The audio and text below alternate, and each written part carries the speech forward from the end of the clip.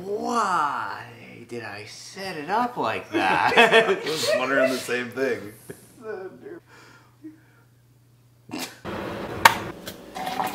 Ooh, that's a hot mug, guys. hey guys, Mark's back. We haven't done a review in a long time, admittedly. Yeah, we, we swear we are working on that Freddy vs. Jason F- review. We- FVJ is gonna we happen. We swear. Obviously, there's been a lot of hype towards the Candyman new film being produced, and also after doing that video where I talked about how just how cool this paper trailer for the new Candyman trailer was.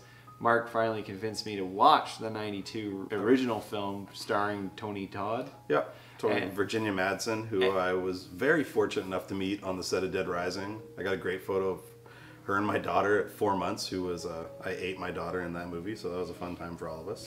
It's different from what I'm expected just because we went through a complete and utter tirade of all of these corny, cheesy, enjoyable for the most part slasher flicks, and then Candyman comes around and it's not like those. It also gets kind of lumped in with them a lot too, but it doesn't feel, it doesn't have that feel of a slasher movie like No. any of the, No, like the other in the, like, their ilk. Well, yeah, because you're expecting a group of people to eventually slowly be picked off one by one. uh, the deaths that get talked about and kind of showed, which is like Mm-hmm. the Ruthie May one, which is based on a real death, like the death they keep talking about in this movie, where the the they come through the wall and into the room and all. That's actually a real kill that happened. an actual way in which people were murdering people Yeah. in the project. It was a real thing that happened. Yeah, this movie is set in Chicago's Cabrini Green, and they filmed it there. There's actual gang members in the movie. They got shot at. Apparently, one of the production The- fans got shot uh, at. generator got day. shot. I read as well.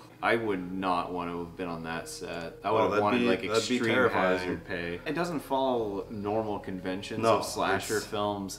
The soundtrack by Philip Glass definitely does not. It's a very, very unique soundtrack in terms of what the film is. It's this orchestral score. You're not getting any of it's these. like orchestral. It's choral organs. Like it's so cool. and that whole yeah, the starts from awesome. this. It's different in a cool way. There's different aspects in terms of how they address the whole idea of what Candyman is, and even by the end of the film, I'm still not clear as to what he is, and I actually enjoy that. It's, it's not spoon feeding you. It's not holding your hand. You are meant to try and interpret some of these aspects for yourself. A different kind of horror film. It's one of those psychological Ed- Edgar Allan Poe kind of romanticizing. Yeah, he is seductive. Like he's kind of pseudo-sexual and be my victim. It's very deliberately sensual. I would give. I would give props to the sound department too. Tony Todd's voice is always booming. They added this. I love the first time you hear it when he's off camera. It's hella, uh, ethereal kind of like yeah, like a spectral sort Yeah. of presence in his voice, and it's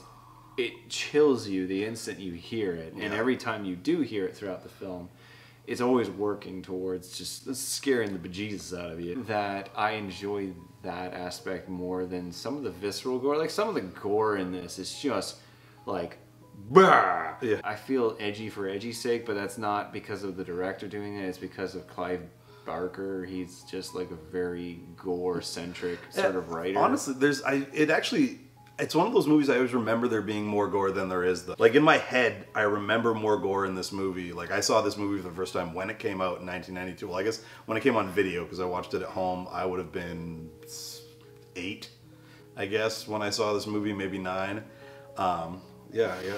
I watched a lot of fucked up shit when I was a kid. I've watched it many times since. I, I watch it every couple years, and every time I watch it, I'm like, oh, there's there is less gore. And then by the time I feel that way, then they kill the uh, the doctor, and he's like spitting blood everywhere and the, wrenching it out. And it's like, oh yeah, there, there it is. This is what I'm remembering. I was gonna say earlier, I like the fact that there's there is a reading of this movie that Candyman isn't real, and that she, hmm. when the Candyman bitch dude hits her in the head, she gets a concussion, and because of the fear she had and because of everything else, she basically loses her mind, and she's killing all these people. and I kind of like that the kill happens and you see her holding the weapon. It's like, oh, wait, is she possessed? Is the Candyman Yeah. real? But he keeps appearing, but then they show footage of her.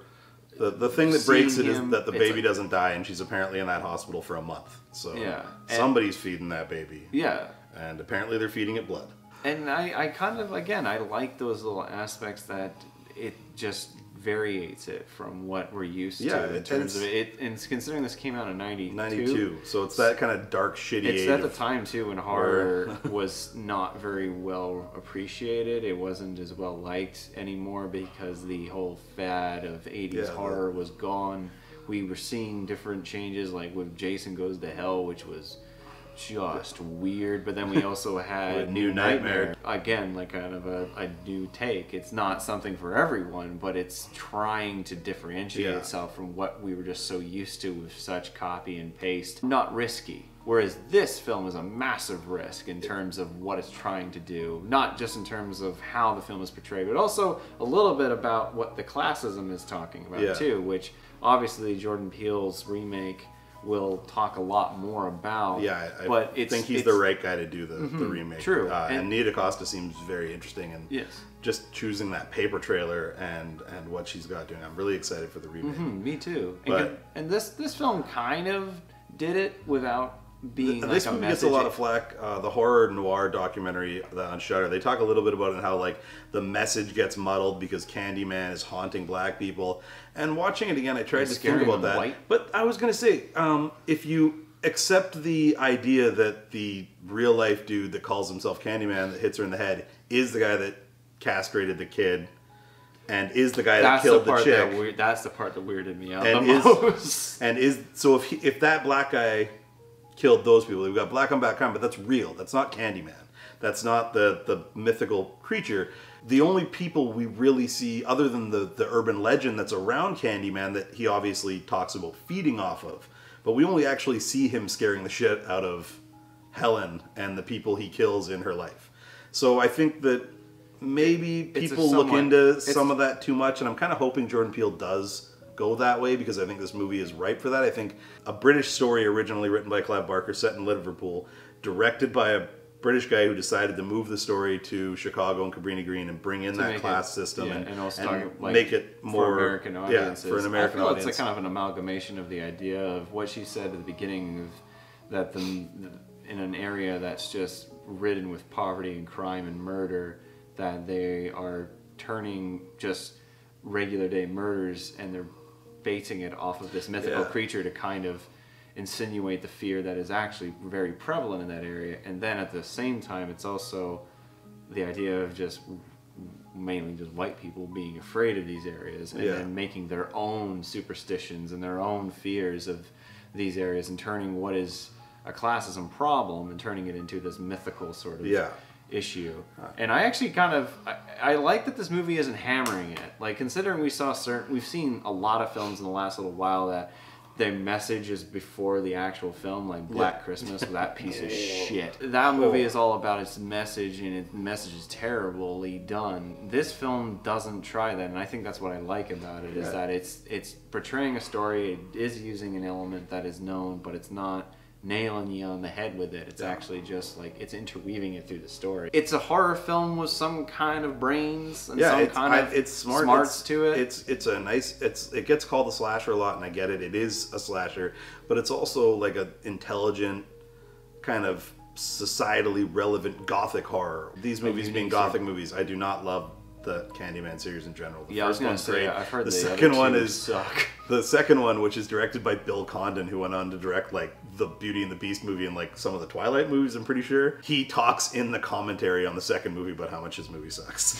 It's not great, but it's not bad. The third one is uh, almost unwatchable. Uh, Tony Todd's the only really good part of any. yeah, he's definitely of yeah, any of the he, he sequels. was very enjoyable He's in this great. in film. this. He's so. So- I mean, it, this is this is the one that did it. The Well, thing that apparently made this him is his favorite film that he's ever done. Yeah, is this one. of course, look how cool it is, and he has bees in his mouth, which is fucking insane. Yeah, I know he had like a dental thing But to block still- it, yeah, but he still put Yeah, he put live bees in yeah, his mouth. no. I couldn't do that. Even if it was getting paid that much. Virginia Madsen's allergic to uh, wasp venom too, so she was super paranoid. Oh, I would They're all be. crawling all over her face, but Oh. they use like baby, like they were only like 12 hours old. Again, it doesn't hold your hand too much to the point where it is a little bit ambiguous. There Yeah. are some odd to it, but I still enjoyed it. So I, I personally, I would give this movie a five out of seven for me. I, I love this movie. I think this movie's fantastic. Uh, some of the messages do get a little muddled and they get a little weird, and they get a little hard to interpret. And whether that's deliberate or not, I think it's it, it diminishes the film a bit overall. I, lo- I think this movie's great. I think the soundtrack's fantastic. Tony Todd's great. The cast is great. Xander Berkeley plays a douchebag. Big fucking surprise. Like I love Virginia Madsen in this movie. It's got enough going to it that I, I'm somewhere in between a five and a six. So because you said five, I'll stick. I'll go with a six. I will officially. All right. So you were right when you were trying to do it beside me there. Well, anyways, guys, that's our review for Candyman. Hope you guys enjoyed that. Give this a watch. It's definitely a different kind of horror movie. It might weird you out a little bit. Really, in my opinion, the most terrifying thing in this entire film was the bathrooms. Yeah, it- Because- Jeremy, he was actually like cringing at the the bathrooms. I hate public do. bathrooms. I hate them. People just all of a sudden forget all of the the, the It's- fucking people ba- fucking- bathroom training fucking they got man. as children, and then they're like, "Hey, let me just shit in this," and then leave it for the next person. And this the bathroom in this was really gross. Like Yeah. they wrote sweets to the sweet and shit, like peanutty gross shit on the walls. And it's not just public bathrooms either. That's like at workplaces too. That's a love- horror movie. That's a real life movie. Humans are disgusting in And, bathrooms. and on that shitty note, we're gonna end it there. Thanks for watching the video. My name is Nitz, and you might remember me from the animated cult classic TV show Undergrads. It's been a while, but I'm happy to say the Click is finally getting back together in an all new movie, thanks to a successful Kickstarter campaign. But we are still asking for your support. To see any and all updates about the upcoming Undergrads movie, be sure to check out and like the Bring Back Undergrads Facebook page. And with any luck, we'll see you guys soon.